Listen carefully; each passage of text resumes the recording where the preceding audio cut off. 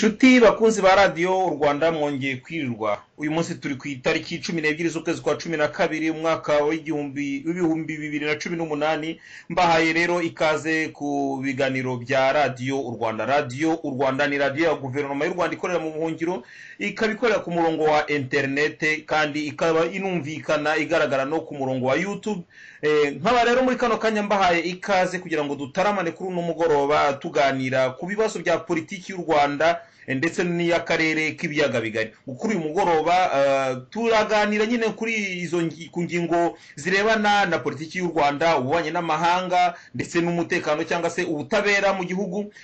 Abatumire bacu uyu munsi akaba ari nyakubahwa padiri thomas nahimana perezida wa guverinoma y'u rwanda ikorera mu buhungiro.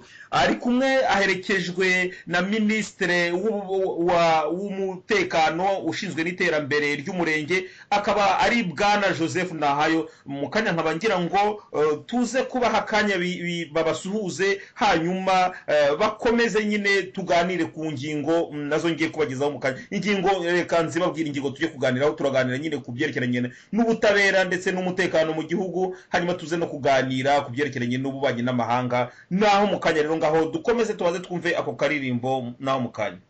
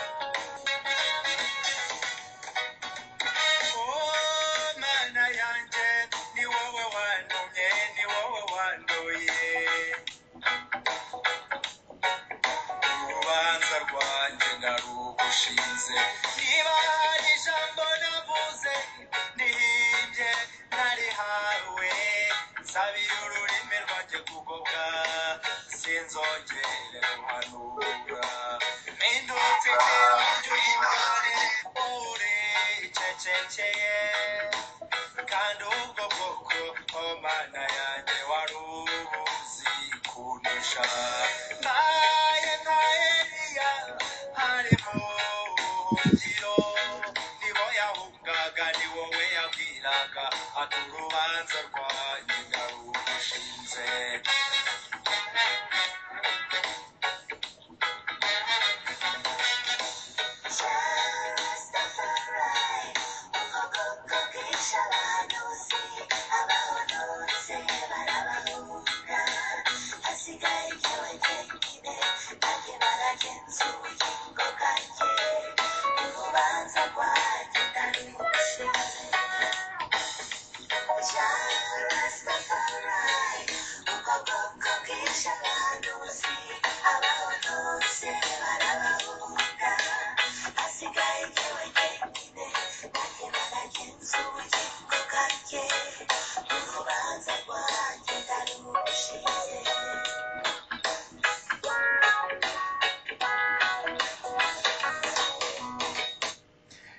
bakunzi ba radiyo u rwanda twongeye kugaruka reka rero dukomeze ikiganiro cyacu tuhera mu gusuhuza nyine abatumire bacu. Nk'uko nabibabwiye mu kanya ni nyakubahwa padiri thomas nahimana perezida wa guverinoma y'u rwanda ikorera mu buhungiro uherekejwe na minisitiri w'umutekano n'iterambere ry'umurenge uwo akaba ari bwana joseph nahayo muri kano kanya turi kumwe muri studio. Kubahwa perezida mwiriwe. Mwiriwe neza bwana shaste. Ugize neza kuba udutumiye ngo twongere tuganirize abanyarwanda mu bibazo bikomeye bibareba bireba ubuzima bw'igihugu cyabo cy'igihugu cyacu muri iki gihe. Eh, bikaba ari byiza rero kudusigaye dutumira kenshi kugira koko ngo ni byiza kuganira abantu bagahugurana abantu bakajya impaka bakajya inama eh, kuganira eh, deba ni urufunguzo rwose rwa demokarasi. Ni ikintu gikomeye cyane abanyarwanda tugomba kwitoza gutanga ibitekerezo byacu tukabitanga uko tubyumva tugatega amatwi abandi nabo uko babyumva. Ah, akaba ariho haturuka urumuri rw'icyo abantu bakora kandi gifitiye igihugu cyose akamaro. Murakoze. Eh, murakoze nyakubahwa kandi ndabashimira kuba mwitabiriye ubu butumire. Eh, ni umurimo wacu nyine nk'abanyarwanda bitabiriye umurimo wa politiki ndetse no gukangura imbaga y'abanyarwanda kugira ngo babashe kumenya ibibazo bibugarije ndetse bamenye n'uburyo bwiza uburyo bwiza babikemuramo kugira ngo nyine duharanire ko u rwanda rw'ejo ruzaza ruzaba ari igihugu kizira umwiryane kizira amateka mabi nyine nk'ayo u rwanda ruzwiho. Eh, muri studio kandi turi kumwe mwaje muherekejwe na bwana joseph nahayo joseph nahayo ni minisitiri w'umutekano akaba n'uw'iterambere ry'umurenge. Nyakubahwa bwana joseph mu- muraho murakomeye. Uraho urakomeye nawe bwana shaste gahunde umunyamakuru ugiye kuyobora kino kiganiro. Ndasuhuza na nyakubahwa padiri thomas nahimana. Ndasuhuza n'abanyarwanda bose muri rusange abari kutwumva ubu ngubu n'abazadukurikira mu minsi itaha. Murakoze ndakeka ko turagira ikiganiro cyiza. Murakoze cyane rero ah, inshuti bakunzi ba radiyo u rwanda nyine twinjiye mu kiganiro nyirizina twaba tugiye guhera ku ngingo ikomeye ni ingingo ijyanye n'ubutabera ubutabera mu gihugu cyacu. Ngira ngo nk'uko mwabibonye mu minsi yashize hashize ah, iminsi ndetse bivugwa eh, habaye ikintu kidasanzwe mu rwanda. Ikintu kidasanzwe ni uko twagiye kubona tukabona ingabire victoire arafunguwe eh, kizito mihigo arafunguwe bidateye kabiri abo famiye ya rwigara iyo irangajwe imbere twavuga ko irangajwe imbere n'umwari diane rwigara eh, barafunguwe. Mwari diane rwigara ndavuga ko barangajwe imbere kuko ari mu bantu ari mu bantu bagerageje guhatanira umwanya w'umukuru w'igihugu. Aho twabibutsa ko mu mwaka w'ibihumbi bibiri na cumi na kane ishyaka ishema ry'u rwanda ryari mu, mahanga ryari ryaratoye nyakubahwa perezida thomas nahimana ngo azajye kurihagararira mu matora y'umwaka w'ibihumbi bibiri na cumi na karindwi. Bije kugera mu mwaka w'ibihumbi bibiri na cumi na gatandatu we n'ikipe yari ayoboye igihe bari berekeje mu rwanda mu kwiyamamaza bagaruriwe mu nzira u rwanda rubabuza kwinjira mu gihugu ndetse rutanga amategeko ku makompanyi y'indege yose ngo hatagira ikompanyi n'imwe ibatwara. Hanyuma rero bakimara gusubizwa inyuma bagerageje no gusubira mu mwaka w'ibihumbi bibiri na cumi na karindwi mm, nabwo biba kimwe u rwanda rwanga ko binjira mu gihugu. Cyakora icyashimishije cyashimishije abanyarwanda ni uko mu rwanda habonetse abandi banyarwanda bifuza ko impinduka zihari. Ntabwo ari nahimana thomas gusa wari uri hanze wari uturutse hanze wari uje kwiyamamaza. Ahubwo no mu gihugu diane rwigara nawe yarahagurutse aravuga ati nanjye ndashaka kwiyamamaza. Bityo icyagaragaye we kubera ko yari ari mu gihugu we ntibamuhejeje hanze ariko we baramufashe baramufunga afunga igihe cy'umwaka niyo mpamvu ndetse n'umuryango we nawe ugira ibizazane byahozeho niyo mpamvu nawe tumubona nyine nk'umu- nk'umuyobozi uri potential uwo navuga umuyobozi ushaka guharanira umwanya wa politiki. Nawe yaje gufungurwa rero by'agateganyo ndetse nyuma yaho urukiko ruza guca urubanza rugaragaza ko uh, ari umwere ari umwere ndetse we na mama we nawe barafunga baba abere basubizwa mu buzima bwabo busanzwe. Uyu munsi birimo biravugwa yuko uh, ubushinjacyaha bugiye kujurira icyo cyemezo ariko tugarutse gatoya kuri ingabire victoire we yashubijwe mu buzima busanzwe yafunguwe ariko yari yaratanze ikirego mu rukiko nyafurika rushinzwe uburenganzira bw'abaturage n'uburenganzira bw'ikiremwamuntu. Urwo rukiko rwerekanye ko ari umwere ndetse mu cyumweru gishize eh, rwategetse leta y'u rwanda kwishyura miliyoni mirongo itandatu n'eshanu uwo mwari uwo mutegarugori ingabire victoire kubera uguhohoterwa mu kugira ngo ku- bamwishyure ibyo yatakaje mu kumuhohotera. Nyakubahwa perezida eh, iki cyemezo cy'urukiko nyafurika cyafatiwe u rwanda mu gihe u rwanda nyamara perezida kagame ari we wari uyoboye wari uyoboye urwo rukiko wari uyoboye umuryango wa afurika murabibona mute mwebwe ku bwanyu mwabyakiriye mute? Kiriya cyemezo rero cy'urukiko nyafurika eh, rurengera uburenganzira bw'ikiremwamuntu ni icyemezo gikomeye cyane. Sinzi niba abanyarwanda bari kubona uburemere bwacyo. Kumva gikondana u rwanda. Mu gihe perezida warwo nubwo yabyibye paul kagame ayoboye union africaine ni nk'uburyo bwo kumukuriraho icyizere. Agakurirwaho icyizere n'urwego ashinzwe no kuyobora niko nabivuga. Kuba rero rwarabonye ko madamu victoire ingabire yarenganye ndetse rukaba ruca u rwanda ibihano bingana na miliyoni mirongo itandatu n'eshanu ni icyemezo cy'uko nyine afurika ibona u rwanda. Irabona ko u rwanda rurenganya abenegihugu barwo rwarenganyije ku buryo bw'umwihariko madamu victoire ingabire. Miliyoni mirongo itandatu n'eshanu zirenga rero hafi mirongo itandatu n'esheshatu z'amafaranga y'amanyarwanda paul kagame agomba kuzishaka akazishyura. Akazishyura madamu victoire ingabire kubera imyaka yose yamaze mu buroko arengana. Ingaruka zabyo ni uko urwo rukiko nubwo rutagomba kubivuga kubera ko bitari mu nshingano zarwo kubitangaza. Niba rwarasanze madamu victoire ingabire yararenganye kugeza n'igihe ruca u rwanda ibihano. Ni ukuvuga ko madamu victoire ingabire ari umwere. Inkiko z'u rwanda zagombye kubisubiraho ku byo zakoze zigahamya ko madamu victoire ari umwere zikamukuraho umusaraba wo kuvuga ngo yabaye kondane ariko nyine ibyo ngibyo birongera bikatwereka ko u rwanda ari urwa mbere koko hose. Ni urwa mbere ko rubivuga mu bintu byinshi rugenda ruvuga rubeshya ariko ni n'urwa mbere gukora amahano. Ni urwa mbere kuba kondane iriya tribunal na yo irarukondanya irukondana na perezida warwo ayoboye union africaine kiriya rero ni ikintu gikomeye gitesha agaciro ubutegetsi bw'u rwanda. Ntabwo ari igihugu cy'u rwanda gita agaciro. Ni guverinoma y'u rwanda iyobowe na paul kagame muri iki gihe. Guverinoma y'u rwanda irenganya abaturage bayo. Guverinoma y'u rwanda ikwiye gucibwa miliyoni mirongo itandatu n'eshanu hafi mirongo itandatu n'esheshatu z'amafaranga y'amanyarwanda kubera umuntu uzarenganyije. Uriya mudamu koko yararenganye amara imyaka myinshi mu buroko ayimara bitari ngombwa ayimara ari gusaba ko uburenganzira bwe bwubahirizwa nk'undi munyarwanda wese nk'undi muvukarwanda wese akaba yarashaka kwiyamamariza kuba umukuru w'igihugu ngo abwire abaturage porogaramu ye niba mushima niba bishima bamutore mu mwaka w'ibihumbi bibiri na cumi. Ariko ntibyakunze. Paul kagame yagize ubwoba bwo guhangana nawe mu matora aramufunga. Ari na byo rero nyine rukiko rugaya n'abanyarwanda bose bagaye natwe dukomeza kugaya. E, iki- icyagombye gukurikiraho rero ni uko eh, nka biriya byabaye kuri ma- ma- mademoiselle diane rwigara agasohoka. Inkiko z'u rwanda zemeje ko ari umwere bya byaha byose bajyaga bashyira imbere. Ngo umuntu ngo yavuze ngo yarashaka gutazana amacakubiri. Ngo yavuze ngo yashaka guteranya abanyarwanda. Eh, nabishimye ejo bundi inkiko z'u rwanda nubwo zitigenga ariko zigezeho zivuga ziti ibyo ngibyo nta byaha birimo. Buriya nyine nta n'uzongera kubishinjwa biriya byararangiye simbona impamvu rero madamu victoire ingabire yashinjwa ibyaha byaba ari nka nk'ibyo bikamugumaho ngo yabaye kondana ko abakundana kubakondana gute. Urukiko rero nyafurika rurabisobanuye nahabwe miliyoni ze mirongo itandatu n'esheshatu z'amafaranga y'amanyarwanda igihe bamutesheje na domaje nyinshi yagize mu muryango no muri we no mu bikorwa bye.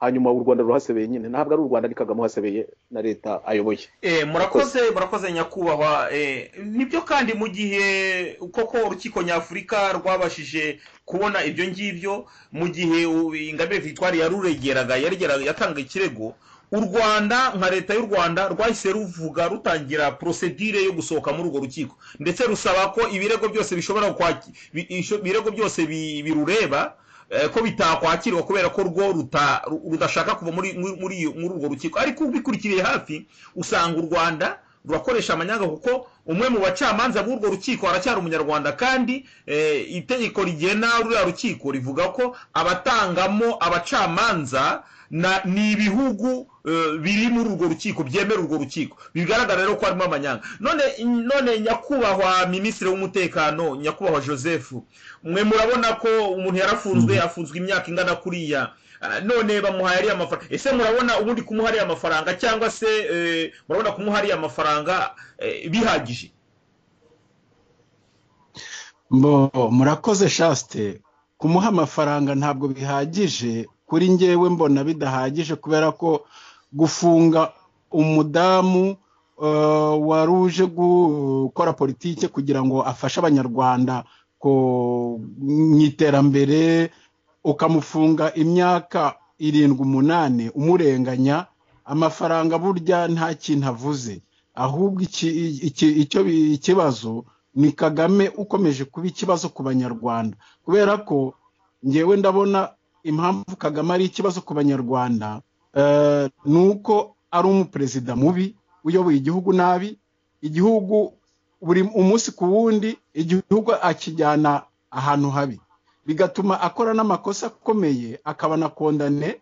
Noneho eh, kuri kagame we nta kibazo afite cyo kuvuga ngo u rwanda rubaye kondane na miliyoni runaka n'ibiki byose. Ikibazo ni abanyarwanda bakomeje gutagangara kubera ko ayo mafaranga u rwanda rugomba kuyatanga ni byo kubera ko rugomba kwendamuniza umunyarwanda umwana w'u rwanda madamu victoire ingabire ariko ni imisoro y'abanyarwanda. Wa munyarwanda ucuruza agataro wa wundi wirirwa ahingira ama- amafaranga magana atatu ni we bazongera kwirukankaho batizana amafaranga eh, bamusoreshe kugira ngo u rwanda rwishyure ahubwo se mura- mura- muravuga iki? Eh, mapingi ripoti yo itari yajya ahagaragara ngo nanone u rwanda rwongere rube kondane barwishyuze eh, kwendamuniza imiryango y'abakongomani bagera kuri miliyoni esheshatu zapfuye. Ubu se murabona koko abanyarwanda twakomeza kwihanganira umuntu w'umwicanyi nk'uriya ugomba gushyira u rwanda mu kaga buri gihe buri munsi ku munsi ari gushyira u rwanda mu kaga. Niyo mpamvu ngewe mpa- mpamagarira abanyarwanda ko tugomba ku- ubu gukanguka igihe kirageze tukirukana umunyagitugu kubera ko ntabwo twakomeza kumwihanganira kubera ko u rwanda ari kurworeka yararworetse. Ntabwo twakomeza kureka ngo u rwanda rukomeze rujye mu nyenga tureba. Kureka kagame a- akongera akayobora umunsi umwe ni ukwanga u rwanda ni ukwanga abanyarwanda. Niyo mpamvu twese tugomba guha- guhagurukira rimwe tukamurwanya akava kuri buriya butegetsi kuri iriya ntebe yicayeho kubera ko iriya ntebe yicayeho niyo afatiramo ibyemezo bigayitse by'umuntu utagira umutima muntu wo gufunga abanyarwanda. Bajijije ubusa agakora amakosa ku isi yose no mu rwanda hose ntabwo ibyo bintu dushobora kubyihanganira. Urakoze cyane nyakubahwa joseph. Nibyo koko hari akantu utwi- utwibukije uti eh, ntabwo ari biriya gusa kuko n'ibindi biracyaza ndetse utwibukije mapping report mapping report abatayizi twakwibutsa abayizi n'abatayizi ko eh, ni cya cyegeranyo cyerekana ibyaha by'intambara ibyaha bya jenoside ndetse byakorewe mu gihugu cya repubulika iharanira demokarasi ya kongo mu gihe fpr yari ikurikiranyeho impunzi eh, ikabyita ikihishe inyuma y'icyo yise ngo ni ugukura mu butugu ku butegetsi ifashije eh, kabira mukuru ndetse na kabira mutoya ibyo rero byagarutsweho eh, mu- mu- muri kiri cyumweru ubwo umu- umuganga wo muri kongo witwa dr mukwege yahabwaga agahimbaza agashimo kitiriwe prix nobel la paix eh, eh, yagaherewe mu gihugu cya norvege eh, akaba ndetse yaragarutse kuri ibyo bintu. Avuga ati ni byo koko twe turavura turimo turavura turimo turasana abagore bangiritse ariko nyuma y'ibi byose ntabwo bihagije kuko hari ababikora. Abo babikora nibo bagombye kubibazwa. Nyuma yaho hagaragaye nyine uhagarariye umuryango mpuzamahanga ushinzwe uburenganzira bw'ikiremwamuntu avuga ati urutonde rw'abo bantu bakoze ibyo byaha turacyarufite ariko haracyari imbogamizi mu kurusohora no kugira ngo bibe byakurikirana. Birumvikana ko hakiri ikibazo muri ibyo bintu by'imikurikirane ariko tubigarutse ku, rwanda duse n'abagaruka ku rwanda gatoya. Nyakubahwa perezida mwe murabona ko eh, urebye eh, ha- hamaze hamaze kuba umuco mm, mubi umuco mubi rwose wabaye akarande wo gufata abantu bagafungwa eh, hanyuma bakazafungurwa nyuma nko ku ruhande rwa ingabire victoire. Ingabire victoire nubwo bamuhariye amafaranga ariko ntabwo bamwemereye uburenganzira bwo kwiyamamaza ngo awe wenda yanatsindira umwanya wa, wa perezida wa repubulika we na- n'ishyaka ry'ishyaka ry'abanyarwanda bifuza kumutora bagire ijambo ryabo. Ayo mafaranga bigaragara ko ntacyo yaba amaze none nanone turebe ko bi- byasubiriye ku mwari rwigara. Nawe nubwo bwose bamugira umwere. Ariko murabona ko nyine atabashije kwinjira mu kwi- kwinjira mu matora ngo nawe abashe guhangana eh, abashe kugera no kuri uwo mwanya. Nyakubahwa mubona eh, ni ikibazo kijya gusa n'icyo nabajije joseph. Ubundi ayo mafaranga cyangwa se kuba umuntu nka- diane rwigara yagirwa umwere murabona bihagije mwebwe? Hariya rero harimo ikibazo gikomeye cyane cy'amanyanga ya fpr birumvikana ko iyo ufunze umuntu imyaka umunani ugafunga umuntu umwaka wamusebeje wamwambitse ubusa wamwambitse ibyaha atakoze kuvuga ngo uramufunguye gusa ngo abaye umwere ntabwo bihagije. Noneho rero bariya badamu bombi ntabwo ari abantu basanzwe. Ni abantu bashakaga gutuma amateka y'igihugu ahinduka mu kwiyamamariza kuba umuyo- umu- umuyobozi usumba abandi mu gihugu umukuru w'igihugu. Iyo ufashe victoire ingabire ukamufunga yendaga kuba umukandida. Yendaga gushinga ishyaka rye ngo abe umukandida. Ukamufunga imyaka iri ingana kuriya iyo ufashe diane mu gihe cy'amatora. Ukamufunga kugira ngo kandidatire ye idatambuka ngo ngo uka- ukamutesha agaciro kugira ngo kandidatire ye idatambuka yiyamamaze.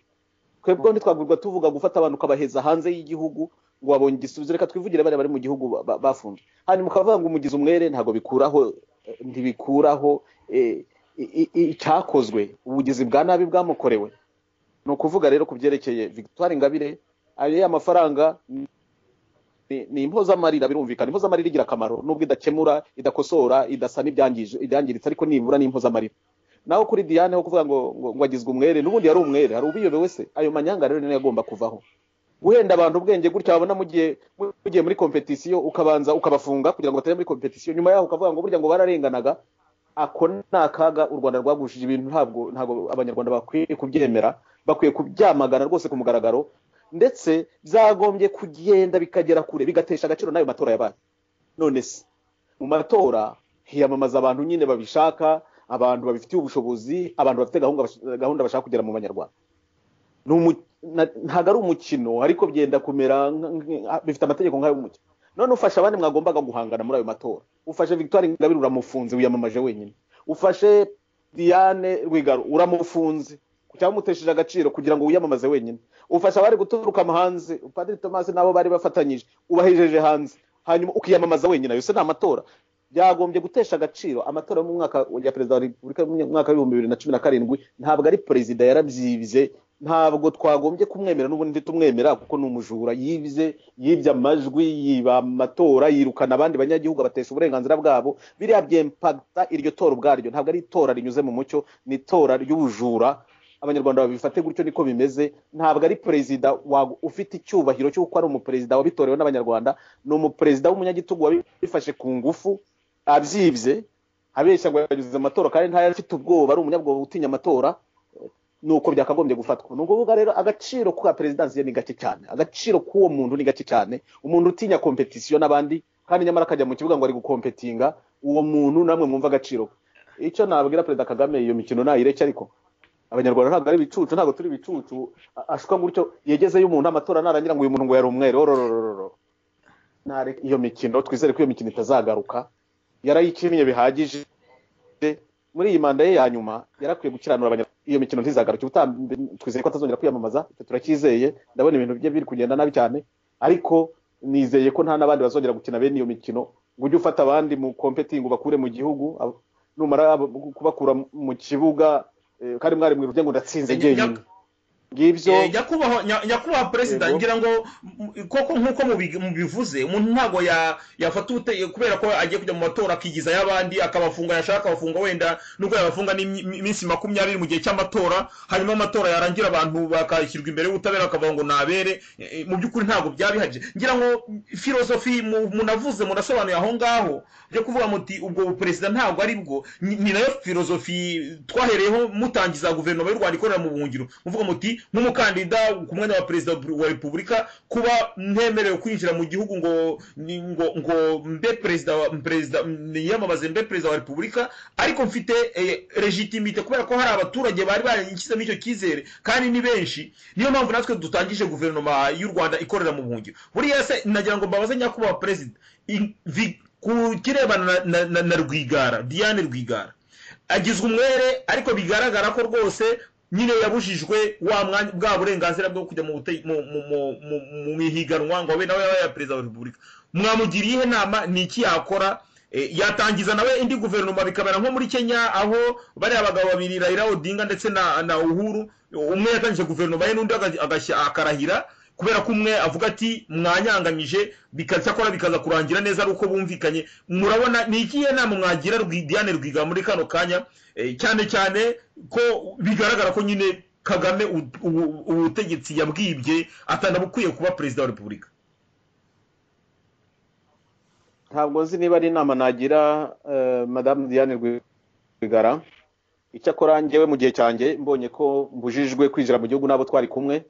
Nabonye ko abari batugiriye icyizere batwohereza kuba abakandida bagambaniwe na paul kagame. Niho twavuze tuti ibyo ari byo byose opozisiyo yagombye kuba maso ikabona ikintu gikozwe ko ari ikintu gikomeye. Kubuza abantu kujya kwiyamamaza kandi bafite abantu babashyigikiye ni ubugambanyi ku ruhande rwa perezida paul kagame. Kubera ko niba abo bantu nta gaciro bafite yagombye kubareka bakiyamamaza bagatanga gahunda yabo bakereka abanyarwanda icyo bashaka kubakorera. Abanyarwanda batabatora bakaba batabatoye nyine. Ariko banabatora akaba ari uburenganzira bw'abanyarwanda. Twebwe rero twasanze iyo guverinoma y'u rwanda ikora mu ngeri ari ngombwa nubwo hari abantu bo muri opozisiyo batahise bumva icyo turi gukora eh, ibyo byo bizabaho. Ubundi guverinoma iba guverinoma kubera ko hari abayemera abo bayemeye rero nta mubare ubaho kuvuga ngo barayemera. Guverinoma y'u rwanda ikora mu ngeri iremewe. Ubu ngubu nkubwiye ko no mu mahanga yose aha tuba muri nasiyo zi- na- bazi ko hariho guverinoma y'u rwanda ikorera mu buhungiro kandi iyo guverinoma y'u rwanda ikorera mu buhungiro iriho kubera ko hari ikibazo mu rwanda ikibazo cya demokarasi. Iriho kubera ko urubuga rwa politiki rufunze abashaka gukorera mu politiki mu rwanda badafite ubwisanzure. Ari naho hari guturuka ziriya kondanasiyo zose zitangiye z'inkiko. Na none ejo bundi izaza nk'uko joseph yari abivuze na none ejo bundi iza- iz- izakondana paul kagame na leta ye n'imikorere ye kubera ibyaha bakoreye muri congo. Kubera kubura kwa demokarasi no gufunga urubuga rwa politiki. Ubwo rero madamu diane rwigara ni we wareba akurikije n'abo bari kumwe amaze gushyira eh, nanjye kuvuga ngo umutima mu gitereko agatekereza akurikije sitarateji afite icyo azakora.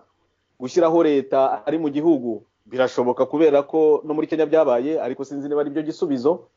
Niba se hari ukundi ateganya ibiganiro nk'uko turi kubiteganya eh, nubwo perezida kagame yibye amajwi akaba atemewe ibyo ari byo byose mu gihugu ni we ucyicaye muri iriya ntebe iriya ntebe ndayubaha cyane. Niyo yaba yicawemo n'umujura niyo yaba yicawemo n'umwicanyi ibyo ari byo byose n'intebe y'ibisubizo. Niba rero ateganya kuzifatanya natwe mu gusaba kuganira na paul kagame kugira ngo urubuga rwa politiki rufungurwe ibyo by'ubujura muri demokarasi biveho cyangwa se niba afite gaha- gahunda buriya azayitubwira mu minsi iri imbere. Abantu bari mu gihugu abantu bavuye mu buroko kuriya bafungirwa koze nk'iriya ndabubaha cyane. Numva nta nama idasanzwe nabagira.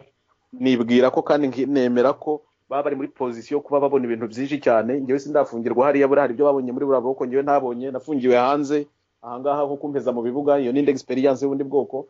Eh, ariko ari victoire ingabire ari berenari ntaganda.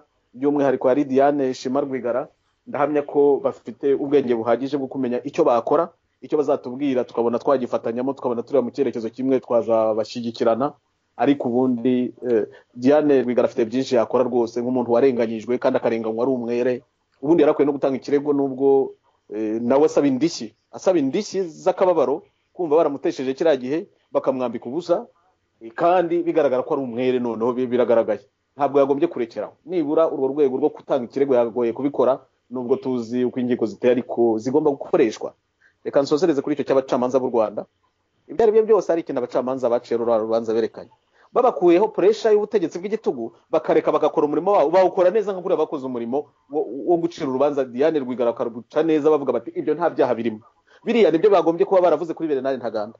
Biriya ni byo bagombye kuba baravuze kuri ku- kuri, kuri madamu victoire ingabire kuri ba ntakirutimana n'abandi no kuri no, ku- bandi bafunze mbese kuri niyitegeka dogiteri niyitegeka bazira ubusa. Inkiko buriya zarerekanye ko bariya abacamanza bazi no kuvuga ibintu neza bazi kubisobanura neza. Barabizi ntabwo ari ubwenge babuze si ubushake babuze ni uko ingoma y'igitugu bashyiraho presiyo yo kugira ngo bace imanza zigoramye.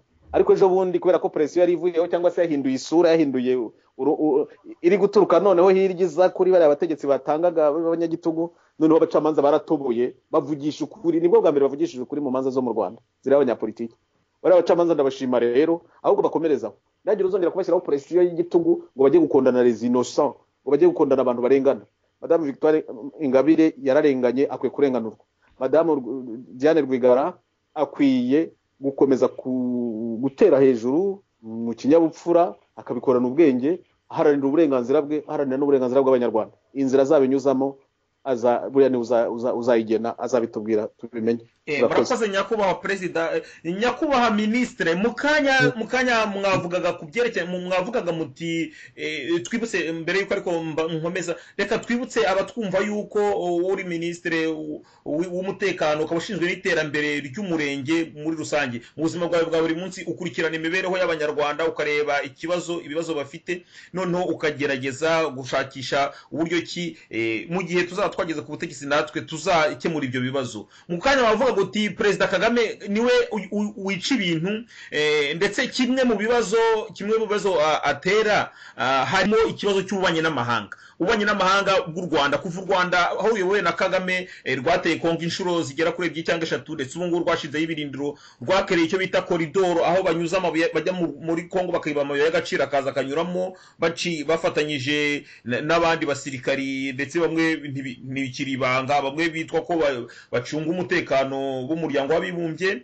Eh, u rwanda rwateye uburundi inshuro zigera kuri zingahe ndetse ejo bundi mu minsi yashize minisitiri perezida w'igihugu cy'u burundi nyiricyubahiro eh,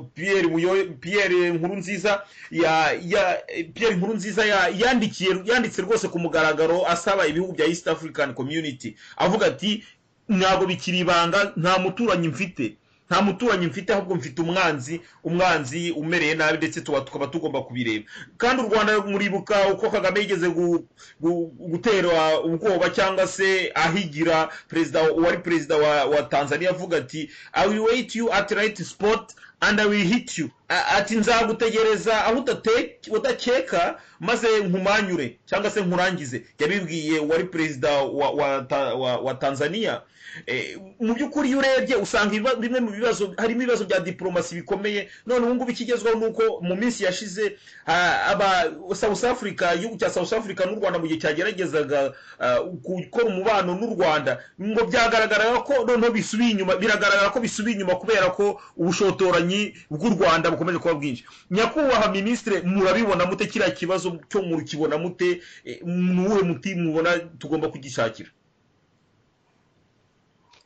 Mbo urakoze shaste kumbaza icyo kibazo. Ariko kugira ngo eh, ndaza kukigarukaho mu kanya ndashaka kugira ngo nkomplete ibyo twavuzeho haruguru gato kuri kagame bakomeje kuba ikibazo. Ndasubira inyuma mu mateka y'intambara yabo ya fpr kuva muri mirongo icyenda bakiri deja no mu rugano. Eh, numvaga bari kuvuga ko ngo abamuzi ba bunyenyezi n'abitwa babayingana bari bazi kagame ngo babonye aje kwiyobora urugamba. Baravuga bati si uyu muntu uri na buti ngo fizikoma e intellectueloma ngo aza- azayobora urugamba dutsinde. Mu by'ukuri rero iyi iyi poteze ya ba bunyenyezi kagame we yarayikomfirimye yarayikomfirimye kuva igihe yagereye mu rwanda kugeza n'uyu munsi kubera ko eh, ukuntu ukuntu bo bamu- bamudekirivaga bavuga ko ari nabuti intellectueloma e fizikoma. Kagame nawe yikomporuta nyine nta na confidence yigirira. None se umuntu amaze ku butegetsi imyaka makumyabiri. Eh, eh, ejo bundi yabujije eh, padiri nahimana nawe bajyanye kwiyama kujya ku- ku- mu rwanda. Agira ubwoba. Ni ukuvuga ngo muri we nta confidence afite arikanga akavuga ati "Nu- nu- n'uwashyira ibuye hari mu mwanya. Niyamamaje bakavuga bati turatora insina cyangwa ibuye na kagame azi ko n'abanyarwanda hari batora iyo nsina cyangwa iryo buye rwose. Mwumve wumve umuperezida dufite mumbabarire mbivuge kuko nyine byaragaragaye. None se wowe reba kuva kuri dogiteri niyitegeka za kuri ntaganda za kuri victoire za kuri diane n'abandi n'abandi bose. Ugaragaje ko ashobora kwasipira kuba perezida aramufunga kubera ko nta cyizere yifitiye ubwe. Urumva? Nguwo mu perezida dufite. Noneho reka mpite ngaruka ku kibazo wari umbajije uravuze uti iyi diporomasi irimo yari itangiye gufata agasura none kagame ibintu bikaba bitangiye gusubirira udubi bite? Ndabibona gute? Ngewe ikibazo ikibazo cy'ubutegetsi bwa fpr fpr kagame hari reka bari ko tubyita ni uko ni ikibazo ni ubutegetsi bufite fase ebyiri.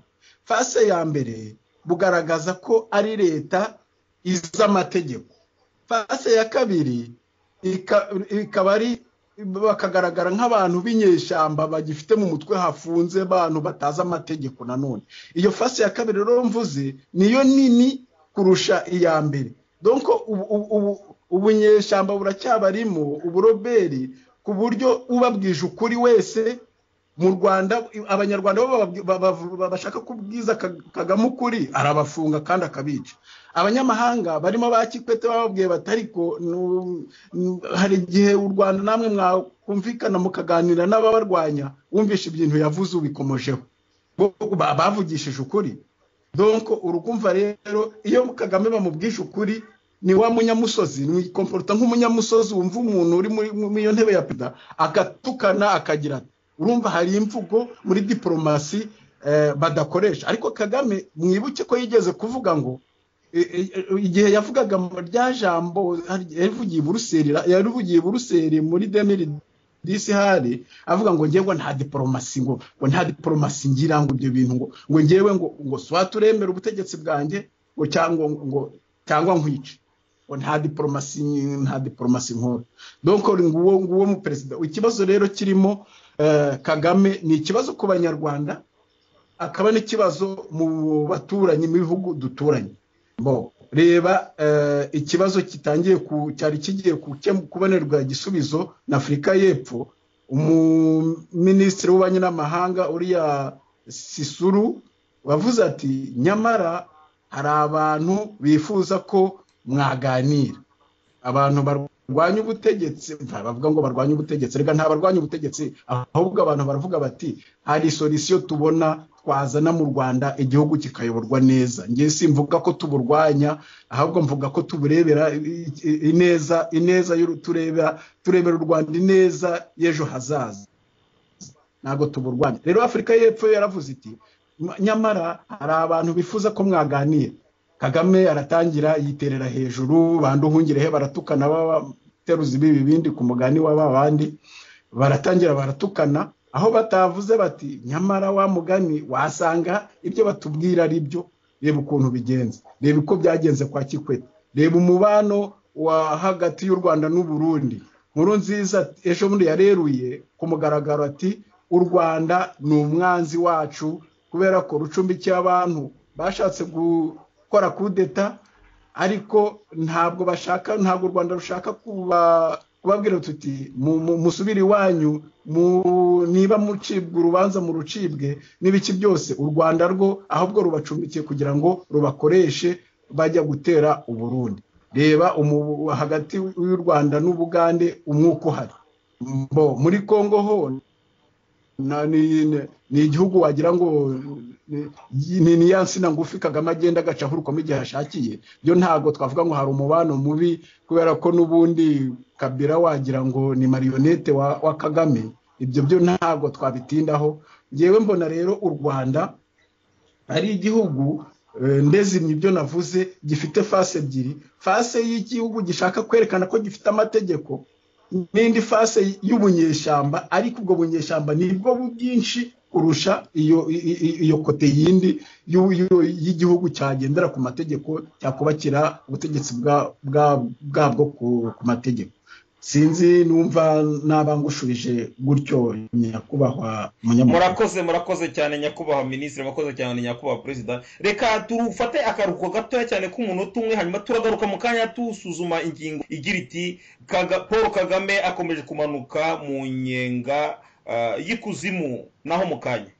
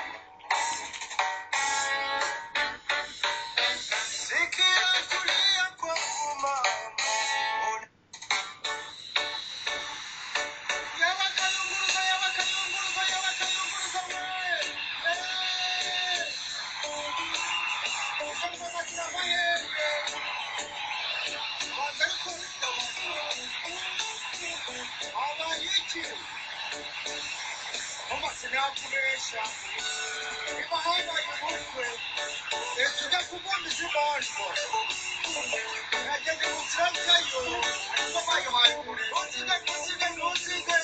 you.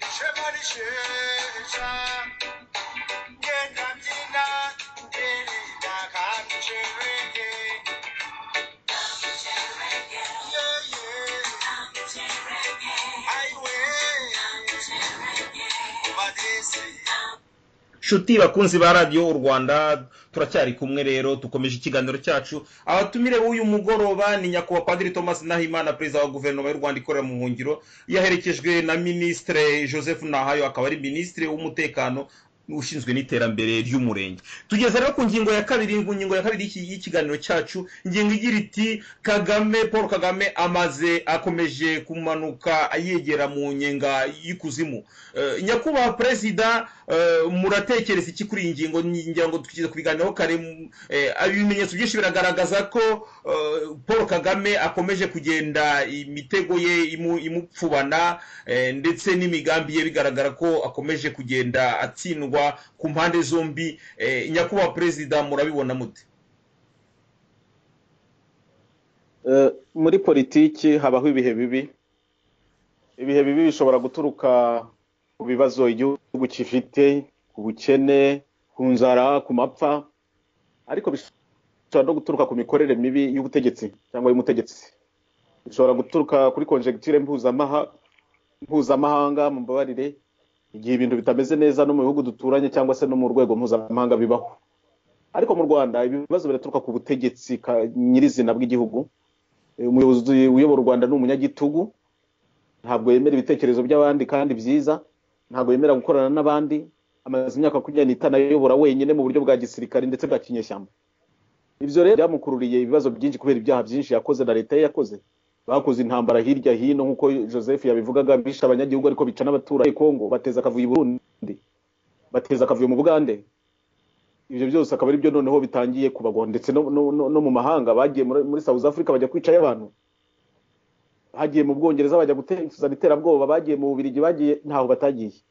Ibyo byose bikagenda bituma babareba nabi. Nubwo bashyira amafaranga menshi cyane muri communication muri lobby ngo bavuge ngo ngo, perezida ngo, ni ibitangaza ngo ni umuntu utarigeze ubaho visio- visionary leader. U rwanda rwateye imbere ngo by'akataraboneka ariko abantu bose bazi ibyo ari byo ahubwo baratureba bakaduseka. Hari abo muganira nyine ukumva bara- ba- ba- ba- barareba utwo hejuru dushobora kuboneka kandi tuboneka nta- ntabwo mvuga ngo abantu ntibakatubone niba ari akantu keza gakozwe mu gihugu ko kagaragara nta kibazo kirimo. Ikibazo ni rusange imiyoborere rusange y'igihugu nuko abanyagihugu babayeho muri rusange. Nturebe kigali yonyine ngo amazu ngo arubatse utazi na ba nyirayo niba utazi habamo n'abantu ukareba imibereho y'abaturage bite. Ibibazo by'abaturage ni ibihe muri iki gihe? Ese abaturage babayeho neza? Ese abaturage barishimye? Ese ntabwo bari kwicwa n'ubukene ntabwo bari kwicwa n'inzara? Ibibazo by'ingenzi bireba igihugu ni ibyo ngibyo. Ubwo rero perezida paul kagame muri iyi minsi afite ibibazo byose byinshi bigaragara bigaragarira mu baturanyi ni byo mwari mumaze kuvuga ariko tugomba kubisubiramo bikumvikana iyo umuturanyi wo mu gihugu kivandimwe cy'u Burundi ibihugu byahoze bifatanya ibihugu bivuga ururimi rumwe. Agira ati uyu muntu ntabwo akiri umuturanyi n'umwanzi akabivuga ku mugaragaro. Ubwo nyine amagambo asobanura icyo asobanura. Iyo sinzi niba abantu baritegereje ngo barebe ibyo abakandida bo mu gihugu cya kongo kinshasa bari kuvuga ubu ngubu. Icyo bari kuvuga ku butegetsi buriho mu rwanda biteye ubwoba. Hazashobora gutorwa abantu rwose banga ubutegetsi bw'u rwanda banga u rwanda kubera ibikorwa ubutegetsi bwa paul kagame bwabakoreye by'ubwicanyi no kubasahura imitungo yabo no kubagira nabi no kuzaho umutekano muke abakandida hafi ya bose baravuga nabi u rwanda. Ni igihugu kinini ni igihugu duturanye.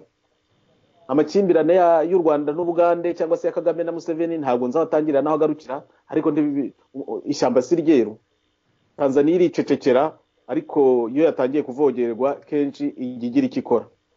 Ubwo rero mwari mumaze kuvuga south africa igihugu nka afurika y'epfo eh, nyamara cyafashije cyafashije aba- abangaba cyabafashije cyane. Eh, nyamara wajya kubona ukabona bagiye gutezayo akavuyo bagiye guterayo umutekano muke batangiye gutuka abaminisitiri babo k'akageso nyine ko kwishongora no kwiyemera no kumva ari bo bazima ba- ba- gutukana kutagira umuco.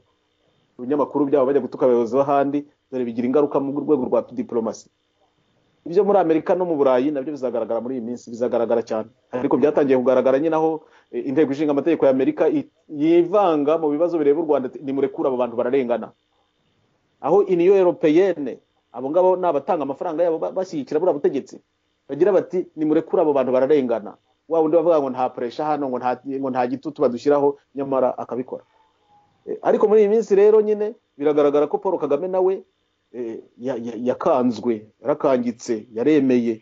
Erega amaze n'imyaka makumyabiri n'itanu atangiye no gusaza ntabwo akiri umusore. Ntabwo atangiye gusaza. Icyantangaje rero ni ukuntu atangiye kugira reflexe z'abasaza bose benda kuva ku butegetsi. Ntacyo mfa n'abasaza ari ndavuga abasaziye ku butegetsi cyane cyane ari abanyagitugu. Reflexe ni izihe? Zindi zo gusubira mu mye- myenda ya gisirikare. Ujya undebera nka museveni yabyambaye iyo myenda uko yambaye itakimukwira uko aba ameze. Eh, kagame nawe yabyibutse kongera kwambara imyenda ya gisirikare ngo agiye gukanga kuri tere ngo yerekane ko rwose wamuvogera. Ariko wamureba subira imyaka makumyabiri n'itanu inyuma ura- urasanga atari we. Nawe sinzi niba azi bihita binyibutsa mu buto igihe bamuteraga bakabira ukuntu yongeye akambara imyenda rwose. Aba bantu bigiye ikatakore kera bajyaga bavuga ikatakore tuga wa parakomando ngo bigiye ikatakore tugakangarana rwose. Ya. yambara imyenda ya gisirikare avuga ko kiri leopari leopari ya yindi rwose itavugirwamo bamuvudukanye tureba. Ubwo kagame yatangiye kwambara biriya rero mu mwitege nawe. Ubwo yatangiye gusubira hariya yari amaze imyaka cumi n'umwe atambara biriya bintu biriya bintu kandi hari abantu batazi icyo bisobanura. Perezida wa repubulika y'u rwanda ni umusivili aba umusivili niyo yari umusirikare arabanza agasezera mu gisirikari agasezera ku mapeti ya gisirikari akaba umusivili. Ndetse itegeko nshinga rya repubulika y'u rwanda nubwo ririmo byinshi nenga ariko yo ririho rigomba kubahirizwa rigomba gukurikizwa. Ingingo yaryo y'ijana na gatandatu ivuga iki? Ivuga ko kuba perezida wa repubulika y'u rwanda hari imirimo yindi bitajyana ibe imirimo isanzwe ya gisivile ndetse n'imirimo ya gisirikare. Nta wundi murimo bijyana. Perezida paul kagame rero reka mwite perezida nubwo yabyibye ntabwo akiri shefu d'etat major nk'uko yigeze kubikora. Ntabwo akiri umuyobozi w'ingabo. Ibyo kuvuga ngo ni umugaba mukuru w'ingabo constitution abakuru b'igihugu bishaka kuvuga ikindi. Ntabwo bishaka kuvuga kwambara imyenda ya gisirikari uretse ko imyenda ya gisirikare ubwayo nta n'icyo itwaye. Ngo ujye kuri tere ujye kwigisha abantu amasasu bagomba kurasa n'ayo batagomba kurasa ujye gupanga urugamba ujye icyo gihe aba yasubiye muri fonction z'ubusirikare. Niba ari ibyo ashaka nareke umwanya wa perezida wa repubulika awu- awureke nanjye ndawushaka. Hari n'abandi bawushaka kandi bagira akamaro kumurusha ajye kuba umuyobozi w'ingabo twabimwemerera rwose nta kibazo. Cyane cyane ko ariko eh, icyo gihe yari chef d'etat major icyo inkotanyi zakoze twarakibonye. Abantu iyo bamubonye kuriya bahita bibuka ibyo yakoze kuva muri za mirongo cyenda na kangahe atangiye kuyobora ziriya nkotanyi ze. Aho yishe abantu aho yabakocaguye abamena imitwe aho yagize gute ukuyobora kwe kwa gisirikare abanyarwanda baracyakwibuka ntibarakwibagirwa ubwo rero niba ari ibyo ashaka gusubiramo biriya bye byo kwambara imyenda kuri yajya mu kuri ni cyo yibutsa abanyarwanda avuga ati wa muntu uracyari umwicanyi nka kera. Nubwo n'ubundi bitigeze bihinduka ariko nibura eh, kwicara mu mwanya wa perezida wa repubulika hari akubahiro bimuha hari icyubahiro bitanga atari we nyirizina ariko kubera umwanya n'intebe yicayemo. Biriya yakoze ni amahano yo gusubira inyuma ngo agiye kuyobora ingabo ngo agiye kuzibwira icyo zigomba gukora. Ese ubundi yazibwiraga iki? Ko ntacyo nyine. Ngo nihagira ngo udusanga hano kera yajyaga atera yajyaga ava ko azatera abantu akajya kubajanjagurira iyo bagiye. None yatangiye kwisubiraho ngo nihagira ngo udusanga hano ntazadukira. Uranyumvira aho ageze noneho atangiye defensive ari mu mukino wa defa kwirwanaho kwisobanura kuko ari kumva yugarijwe. Iriya anserikoroma rero arimo muri kongo ntibamuvuga neza kongo kinshasa. Mu burundi wapi yahindutse umwanzi. Tanzaniya iba yinumiye abaswahili bagira uko bakora ibintu. Muri uganda iyi anserikoroma ari kumva. Anserikoroma abasirikare bazi icyo bisobanura iyo wagoswe. Niyo ari gushakisha ibisubizo ariko ari kubishakira habi ari kubishakira ahatariho ngo ari kwambara imyenda yagize arakanga se arakangana. Aho yagombye gushakira ibisubizo ngenda hazi. Aho yagombye gusaba ibisubizo ni muri biriya biganiro pozisiyo iri kumusaba. Naduhamagare muri ya nama y'umushyikirano w'abanyapolitiki nishaka ibera i kigali tugende twicare nk'uko kera bigeze kwicara mu rugwiro bashaka bashyira ibitekerezo hamwe inkotanyi zigitangira nubwo ibyavuyemo batabikurikije ariko abanyarwanda twongere twicare abavuga ko dufite ibitekerezo byakubaka igihugu twongere twicare twibaze ibibazo bikwiye bihabangamiye abanyarwanda ndetse bibangamiye n'akarere tubishakire ibisubizo. Hajyeho inteko ishinga amategeko iseswe hatorwe abadepite bahagarariye rubanda badahagarariye fpr intumwa za rubanda koko abashinga amashyaka babanze bayashinge mu bwisanzure hanyuma bizasozwe n'amatora ya perezida wa repubulika abanyarwanda bitorere uwo bashaka. Ibyo rero ni cyo gisubizo eh, naho ubundi ibindi byo kwambara imyenda ya gisirikare igisirikare se ni we uzi kwambara imyenda ya gisirikare wenyine? N'abandi bazayambara cyangwa se baranayambaye.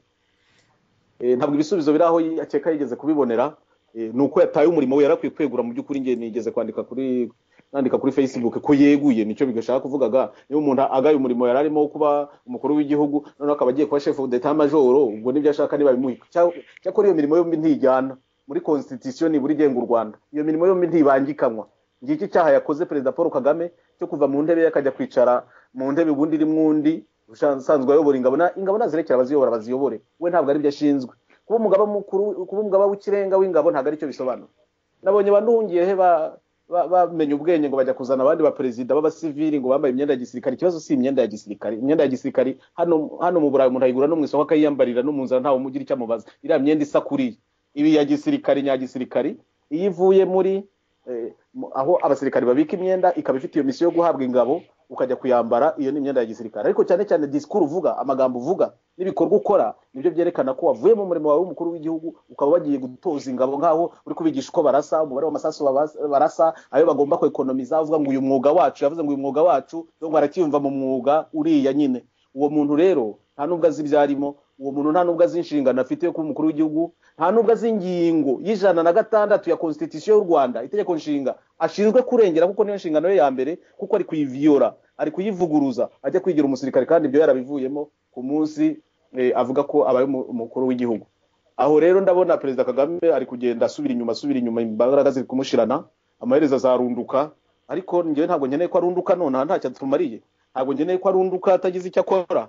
Aracyafite inshingano haba none haba ejo igihe atarava hariya zo gukiranura abanyarwanda zo gukiranura abanyarwanda. Kiriya gihugu kimuri ku mutwe yabishaka atabishaka nubwo akica nabi nubwo asogota abanyarwanda akabakomeretsa akagira ati ariko aracyahari ubwo agihari namugira inama ngo nakora agakorwa ka nyuma. Nadutegurira iriya nama ariko y'umushyikirano. Ayitegurire i kigali tuyigemo iriya nama y'umushyikirano w'abanyapolitiki tugende dutange ibitekerezo byacu ntacyo tukikanga. Na diana yaramunaniye kumufunga noneho yamugize umwere. Cyakora nabigira umwere na victoire ingabire na berenari ntaganda n'abagifunze ba ba deogaratias mushayidi nibatahe kuko ibyo bashinjwa n'ibiriya diana yashinjwe eh, bose batahe batahe bigendere mu ngo zabo ushaka gukora politiki ayikora. Ubwo rero eh, ko perezida paul kagame ari kugenda amanuka amanuka amanuka amanuka ajya mu mu kuzimu biragaragara. Ageze kuri wa ateremuka ateremuka ateremuka ajya mu manga ajya mu nyanja. Eh, yari akwiye kubiboneraho akanya akavuga ati ariko se ubundi ndagarukira he? Ese ubundi abana banjye bizagenda gute? Ese ubundi abanjye bizagenda gute? Ese ubundi iki gihugu bizagenda gute ko ari byo ukibazwa muri iki gihe? Kurusha padiri thomas uri mu buhungiro. Aho ngaho ni ho yagombye gushyira ubwenge ku gihe. Ndabivuga nkomeje yagombye gushyira ubwenge ku gihe. Ukurikije imyaka makumyabiri n'itanu amaze yicaye muri iriya ntebe hari ubuhanga yagombye kuba afite buturenze burenze n'abandi. Akavuga ati hari ukuntu nabonye ahantu hari ibisubizo nabonye hari ibibazo ariko nabonye hari ibisubizo ku buryo nakiranura abanyarwanda icyo cyizere nzakomeza kukimugira kugeza igihe azarundukira atabikoze cyangwa se abikore bigaragara. Ariko nakwifuza ko yabikora kuko arabihemberwa ubu ngubu. Ni inshingano yamaze imyaka makumyabiri n'ingahe abihemberwa? Ntagenda adakoze umurimo we ni jobu ye. Naduhamagarira nama nk'uko opozisiyo ubu iri kwisuganya cyane cyane iyo hanze ariko ifatanyije n'iyo mu rwanda tuzanafatanya tuvuga tuti mureke twisuganye tugirane ibiganiro n'ubutegetsi bw'igitugu bwa paul kagame turi twabona ibisubizo. Nta maraso yongeye kumeneka abantu batagombye kongera gusubira muri za shema zo kwicana. Ariko paul kagame mu mutwe we haracyari ngo wenda umusirikare nzi kurasa nzi gukoresha intwaro ngo nazi Eh, reka. Nicyo nabivugaho gusa ari kumanuka biragaragara nawe arabizi kandi yatangiye kubyumva atangiye kurejisa nk'ubyumva ariko se wari igisubizo igisubizo natubaze turamubwira aho kiri Eh, murakoze nyakubahwa perezida. Nyakubahwa minisitiri. Mu ijambo paul kagame yavuze nyine muri kiriya gihe yari ya- yigize umushefu wa wa etamajoro mu ijambo yagejeje ku bari bateraniye mu mahugurwa ya gisirikari mu- ku basirikari mu by'ukuri. Yabaye yagarutse cyane cyane ndetse ubona ari gushyira ari gushyira ari gushyira akarongo agenda asurinya ku byerekeranye n'ubukungu bw'igihugu. Asa n'u- n'u- n'uwingingira abasirikari gukomeza kwemera intica ntikize bahembwa. Aravuga ati rwose ati turabizi ko tubahemba intica ntikize. Ndabikoresha amagambo yanjye ariko birasa n'ibyo ngibyo. Rwose ntabwo mubayeho neza turabizi ko mutabayeho neza ati ariko tuba turi gusaranganya ngo n'ahandi. Ngo n'ahandi bihagere ati no mu burezi bihagere no mu mavuriro naho bihagere. Ati niyo mbese asa n'usobanura impamvu ki abasirikari mu rwanda bafashwe nabi? Si n'abasirikari bonyine kandi n'abapolisi? Mu by'ukuri eh, abantu bashinzwe umutekano muri kiriya gihugu bafashwe nabi bari mu bantu babayeho nabi cyane muri kiriya gihugu. Nyakubahwa minisitiri w'umutekano akaba ari nawe ushinzwe iterambere ry'umurenge. Iki kibazo cy'uko abasirikari bakoreshwa mu bibazo mu bintu byo guhungabanya umutekano ndetse no kurinda umunyagitugu kandi umunyagitugu we mu by'ukuri we im- imishahara ye ntijya igabanuka ndetse yigendera mu ndege private jet zihenze cyane akaba adashobora no kuvuga ati uruzinduko rumwe naruhagaritse cyangwa se ngiye kugenda mu, ndege ngende muri mu, mwanya wa ekonomi wa mwanya ni ukuvuga mu mwanya w'abagenzi basanzwe kugira ngo nibura nitange abasirikari wenda bagire imibereho myiza irushijeho. Nyakubahwa minisitiri mwebwe iri jambo rimeze nko kwigiza nkana muraribona mute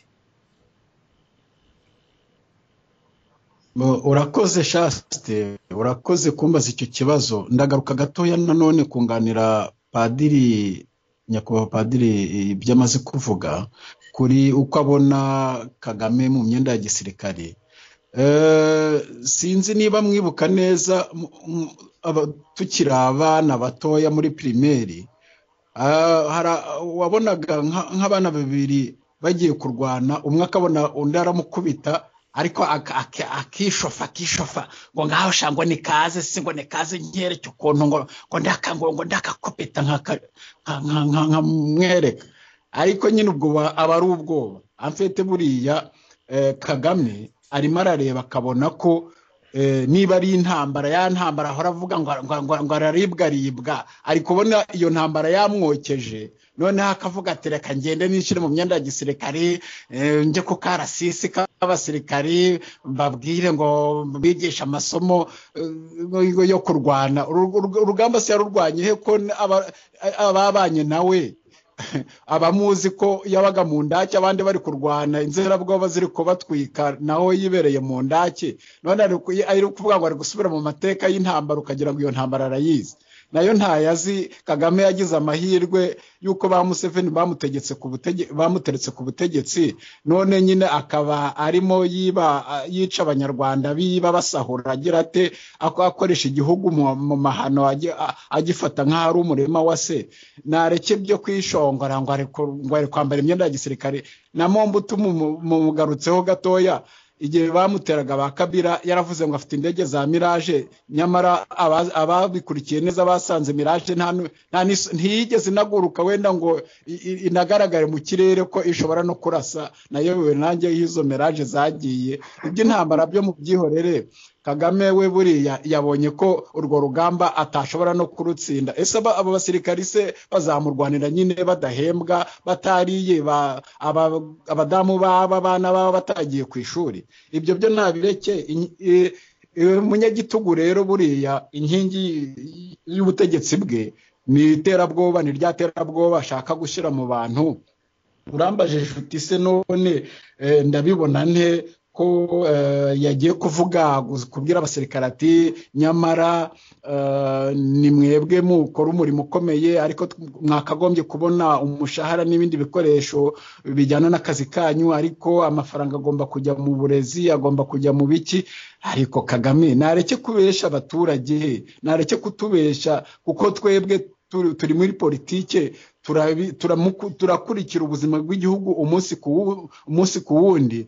Tuzi no kwanariza. Ubu se kagame araja kuvuga ngo ireme ry'uburezi ngo amafaranga arashyira mu ireme ry'uburezi ahubwo ni- yanagabanije yanagabanije ni nanuza na bije y'uburezi ejo bundi.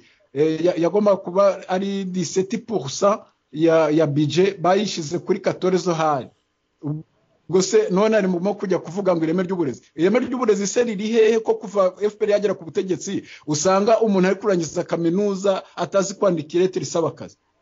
Uranyumvira ubwo si iryo reme ry'uburezi kagame ari ku- ari kuvuga yaza- ubwo se fpr iramutse ivuye ku butegetsi uyu munsi kagame muri bira bazavuga mu burezi yavuga ko yahakoze iki?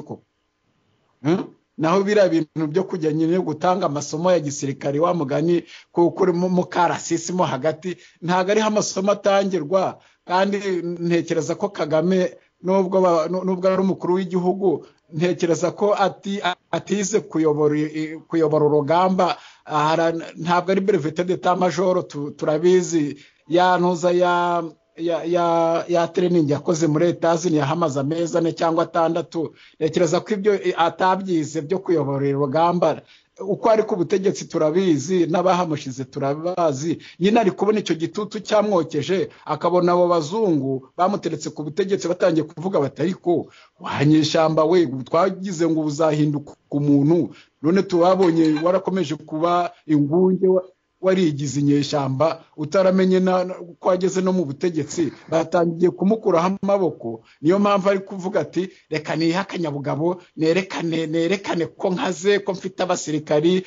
Abasirikari si yatsinda kagame nta gisirikari na kimwe kimukikije yashobora gutsinda. Kandi nubwo iyo ntambara n'inaramuka iteye abaturage kubera ukuntu yabajujubije bazafasha tuvuge ko ari ubugande bumuteye ni urugero. Yemwe abaturage ntekereza ko baza- baza- bazabwira abagande bati dore aho abasirikare ba kagame bari mu- mubakurikire nkurikije ukuntu babajujubije. Abo basirikare se bo kagame akoresha kugira ngo bagende bica abandi banyarwanda. Abo bo nabo bakagombye kubona isomo biriya bintu ari kugenda babesha bakabivamo hanyuma bakamenya igikwiye ahubwo niba ari na kudeta niba ari iki bakayikora. Ariko nk'uko nyakubahwa padiri yabisobanuye mu kanya ikintu cyafasha kagame cyazanira u rwanda amahoro muri aka kanya. Akadirishya gafunguye nako ni ukuntu yakwicarana na opozisiyo iri hanze n'iyo mu gihugu bakaganira hanyuma kagame nibura bakamurekera iyi manda yibye bakavuga bati wenda yirangize mwumve- munyumve neza wenda yirangize ariko ibe taranzisiyo taranzisiyo ibe aparitiri. Dimoma kagame avuze ati turicaranye ubu. Muri demiri wenda demiri dizinefu du- dutangire taranzisiyo kagame arangize iyo myaka ingahe? Hanyuma hazaba amatora ya perezida utaha nk'uko kwa kabira bigiye kugenda nibura kabira baravuze bati rangiza rangiza manda ntuziyamamaze ku nshuro ya kabiri. Amatora agiye kuzaba muri dande someni niko mu rwanda byakagombye kumera rero kagame amahirwe afite ni uko yakwicarana na guverinoma ya rubanda ikorera mu buhungiro n'amashyaka ya opozisiyo bakicarana bakumvikana ukuntu u rwanda rugomba kuyoborwa mu myaka iri imbere. Naho ibindi byo gukanga ngo ni perezida rwose ngo ni umusirikare umusirikare se hehe ko ari baringa. Buriya biriya byenda bazamishwanyagurizaho muzamureba. Ibyo byo ntagire nta- na- na- habyarimana si we muri icyenda na kangahe ntiyagiye gusura inzirabwoba? Mirongo icyenda na kane se igabiro hariya igabiro hariya nawe ni ho yagiye hariya. Amateka y'u rwanda yisubiramo. Murebe shasite mureke murebe ibigiye kuba kuri kagame. Biriya byenda mutazabisanga kuri rompuwe byacikaguritse bamushwanyaguje uzangaye. Kagame amahirwe yagira ni uko yakumvikana na opozisiyo bakagarura amahoro mu rwanda nta kindi reka twizere ko icyo gi- icyo gihe kitazagera. Twizere ko uyu munsi wa none abemera imana ndetse bemera ubutatu butagatifu bazi ko roho mutagatifu hari ukuntu akora ibitangaza. Hari igihe yamumanukiraho ni uko ibyo biganiro bikabaho amashyaka ari mu mahanga ari mu buhungiro akaba yaganira agahura ndetse n'abari ku butegetsi bakaganira tugashyira hamwe tukerekana kubona fedorute y'ukuntu igihugu kiyoborwa hatongeye kubaho umwiryane kubera yuko nyine inzira zihesa amaraso twarazibonye eh, kuzitabaza hari igihe biba ngombwa ariko ntabwo rwose eh, hakwiye kubaho kunangira umutima kugira ngo turinde kugera aho ngaho. Reka rero turimo turagana ku musozo turagana ku musozo. Nyakubahwa perezida nyakubahwa minisitire eh, ndakomeza kubashimira ko mwitabiriye ubutumire. Abateze amatwi radiyo u rwanda. Radiyo u rwanda ndabibutsa ko ari radiyo ya guverinoma y'u rwanda ikorera mu buhungiro. Eh, ndabashimiye nyine ko mwakomeje kudutega amatwi muri kino kiganiro kandi nkifuza ko mujya mutwigezaho ibitekerezo byanyu kugira ngo nyine dukomeze kubatumikira. Eh, twaganiriye ku byerekeranye n'ubutabera mu rwanda tuganira ku byerekeranye na diporomasi eh, noneho mu kanya turimo turagana ku musozo. Ndagira ngo rero buri umwe muri mwebwe tumuhe iminota ibiri atange agire ubutumwa atanga eh, ndahera kuri nyakubahwa minisitiri joseph nahayo. Shasi turakoze kumpa ijambo ryo gusoza. Nasoza nsaba ikintu kimwe abanyarwanda. Ikintu gikomeye cy'uko ubu ubu ngubu umwaka w'ibihumbi bibiri na cumi n'umunani urimo kurangira nyabuneka umwaka wa bibiri na cumi n'icyenda tu- tuzamure umutwe. Ba- twe gukomeza kubika umutwe dufatanye twese abanyarwanda aho bari hose mu mfuruka zose z'igihugu bavuge bati ibi turabirambiwe. Natwe aba muri opozisiyo twagaragaje ubushake eh, muri iyi minsi turavuga tuti twebwe tugomba gukora marishe dora revolisiyo tugataha tukajya mu rwanda gufatanya n'abo baturage bababaye bamaze imyaka makumyabiri n'ine fpr bacura bufuni na buhoro. Ibyo bintu bigomba kurangira bibiri na cumi n'icyenda ije uzaba umwaka eh, w'uko abanyarwanda bishyira bakizana buri wese akumva adafite ipfunwe mu gihugu cye. Ndagira rero ngo buri wese mu- byo ashoboye akore icyo ashoboye hanyuma turebe ukuntu twakwishyira hamwe opozisiyo nk'uko biri gutegurwa biri gutekerezwaho nyabuna na yo irebe ukuntu ya na yo ngiye kuvuga ngo yinyare mu isunzu irebe ukuntu bavuga bati mureke tuvuge rumwe nibura turebe igikorwa twahuriza hamwe tugende tumanuke twese tujye mu gihugu turebe niba noneho uko yafunze ba ingabire na ba diyani twese baze dutahe rwose turebe ko kagame azadufunga. Ntabyo azakora. Kagame ubu ngubu. Kagame ari mu marembera. Ntabwo ari kagame wo muri wo muri mirongo icyenda na gatanu kuko isura ye yarayerekanye yayeretse abazungu isura ye yeretse abanyarwanda ku buryo buhagije. Ubu kagame ari mu marembera. Tugomba rero gufatanya. Ni ayo marembera ye tuka- tukamwihutana. Tukamwihutana akava ku butegetsi vuba.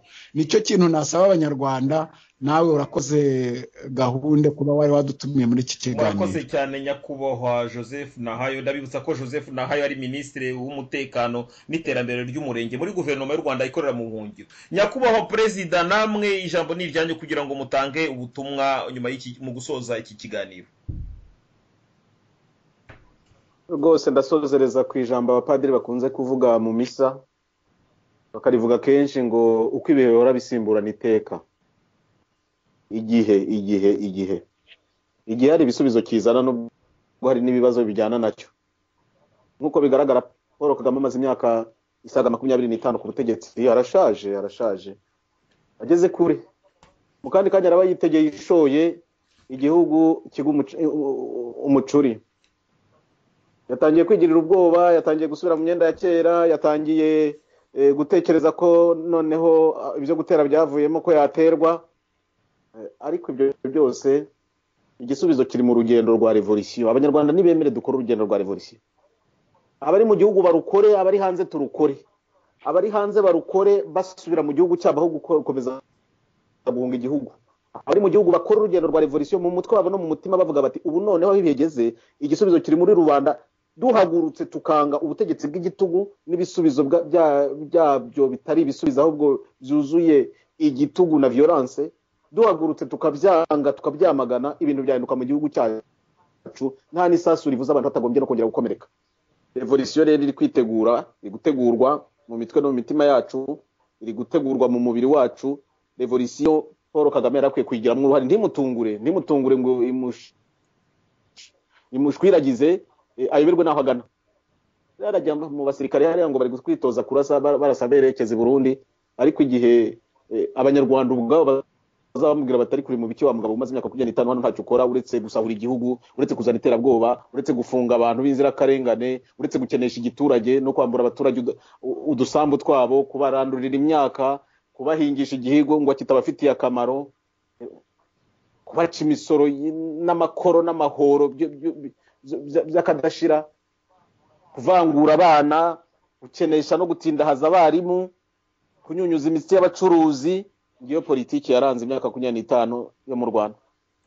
Ikiyongeraho kwishongora no gukina abaturage ku mubyimba abenegihugu ku mubyimba ngo twateye imbere ngo twakoze ibitangaza ngo twakuye amamiliyoni y'abaturage mu bukene kandi amavunja yaragarutse mu gihugu. Niba hari udukorwa twiza paul kagame yabashije gukora mu gihe yari ahari igikorwa cyiza mwemerera ni kimwe gusa. Ni uko yakanze abanyarwanda arabakanda arabakanda abageza kure abigisha ubwenge babasha kubona kubona ubu ngeka ko mu mitwe y'abanyarwanda bazi gutandukanya ubutegetsi bubi n'ubutegetsi bwiza. Igihe bazabonera ubutegetsi bwiza bazabimenya.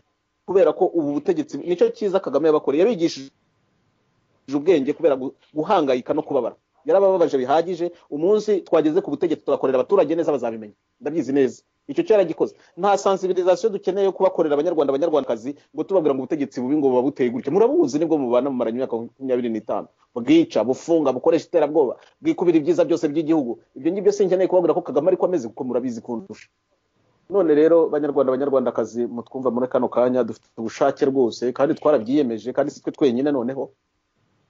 Turashaka gusubira mu rwanda. Turashaka kumanuka muri ruriya rugendo rwa revolisiyo tutagiye guhungabanya umutekano w'abandi. Ntabwo ari amasasu kagame ari kuvuga ari twebwe azayarashije tuzagenda n'amaboko yacu ariko dufite imitwe n'imitima. Ngibyo bibiri umutwe n'umutima. Umutima ushaka ukunda abanyarwanda kandi ushaka kubakorera neza imitwe ifite ubwenge ishaka gutekereza ibisubizo ku bibazo abanyarwanda bafite. Twajya kwifuza ko kagame nawe nk'umuntu wayoboye igihugu imyaka makumyabiri n'itanu akakiyobora uko abyumva n'uko abishoboye. Yagira amaherezo meza yagira amaherezo meza akagira uruhare mu gukiranura abanyarwanda. Akagira uruhare mu gutegura uko igihugu kizakomeza kitagombye guhomboka. Ariko natabikora ntacyo bitwaye azabibazwa kandi azabyishyura. None rero ntugire ubwoba ntugire ubwoba bw'amagambo ya paul kagame. Iterabwoba rye turarimenyereye turarirambiwe tur- turashaka ko rihinduka.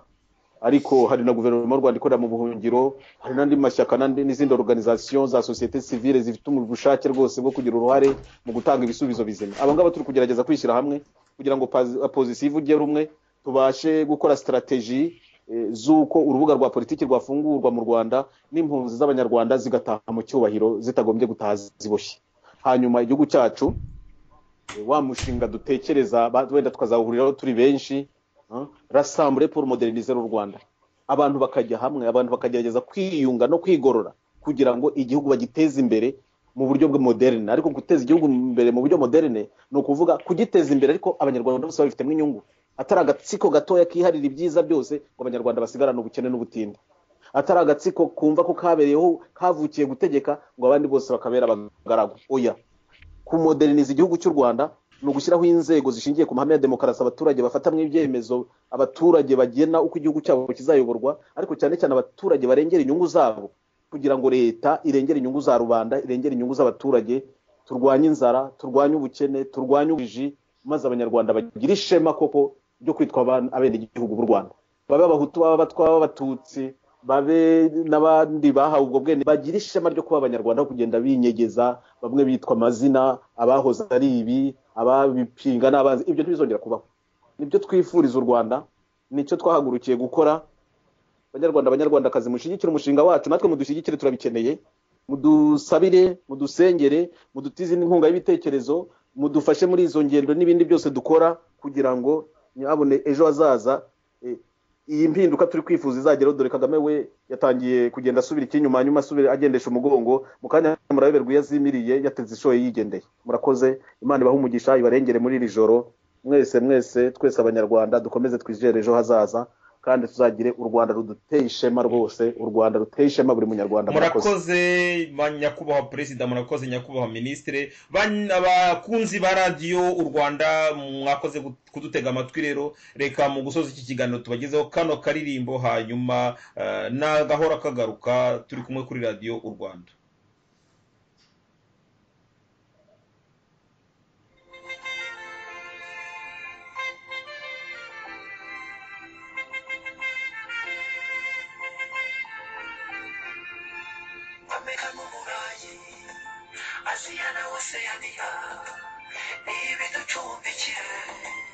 Ariko ntitwibagiwe ko turi abana mu rwanda amerika n'uburayi aziya na oseyaniya ni ibiducumbikiye ariko ntitwibagiwe ko turi abana mu rwanda uburayi na amerika aziya na oseyaniya